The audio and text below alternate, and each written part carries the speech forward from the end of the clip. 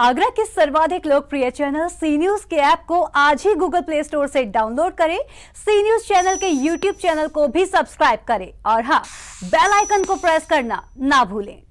बुधवार को मौसम विभाग की भविष्यवाणी के अनुसार शहर में बूंदाबांदी हुई। बूंदाबांदी भी दिन भर ना होकर शाम के वक्त तेज हुई। पूरे दिन सूरज के दर्शन नहीं हुए, सुबह से लेकर शाम तक धुंध छाई रही।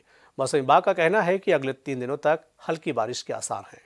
मौसम विभाग की भविष्यवाणी बारिश और बूंदाबांदी होने की सत्य साबित हुई। मौसम विभाग ने पूर्व में अनुमान जारी किया था कि 5 जनवरी से बारिश हो सकती है। हालाँकि शहरी क्षेत्र में दिन भर तो बारिश नहीं हुई, न ही बूंदाबांदी, लेकिन शाम के वक्त बूंदाबांदी ज़रूर हुई। बुधवार को दिन भर आसमान में बादल छाए रहे दिन भर धुंध ही धुंध नज़र आई। सुबह से न तो दिन का पता चला और न ही शाम का एक जैसा ही नज़ारा सुबह से शाम तक देखा गया। जनपद के कई हिस्सों में हल्की बारिश की भी सूचना रही, लेकिन शहर में शाम के वक्त बूंदाबांदी कहीं तेज हुई तो कहीं पर धीमी रही। आसमान दिन भर बादलों से ढका रहा, शीतलहर चलनी फिर से शुरू हो गई है। शीत शीतलहर चलने से लोग ठिठुरने के लिए मजबूर हो गए। मौसम विभाग ने अगले तीन दिनों तक बारिश के आसार जताए हैं। मंगलवार को धूप ने लोगों को थोड़ी सी राहत दी थी, लेकिन बुधवार को मौसम अचानक बदल गया। मौसम विभाग ने पाँच जनवरी ऐसी नौ जनवरी तक के लिए अनुमान जारी किया है की हल्की बारिश हो सकती है। Vinod junior, C news Agra.